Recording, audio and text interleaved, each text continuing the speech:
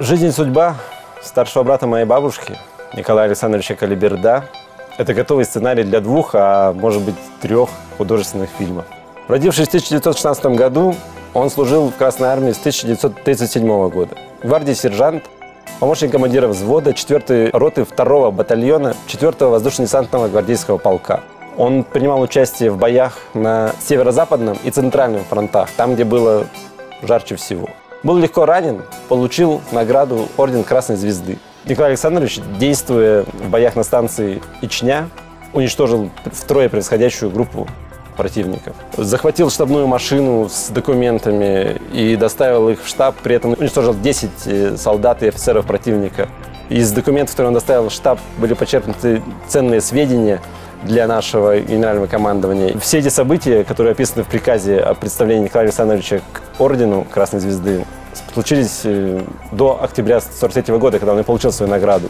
А уже в декабре этого же года Николай Александрович попадает в плен. Так получилось, что в ходе ночной десантной операции его группу высадили не в тот район, прямо на головы немцев.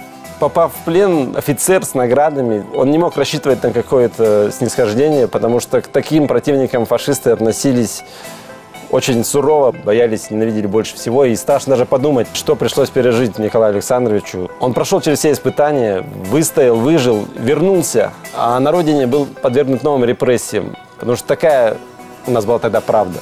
Три года он отработал на закрытом предприятии, при этом был лишен наград. По выходу все награды вернули, реабилитировали его. Таких людей, как Николай Александрович, ничем было не сломить.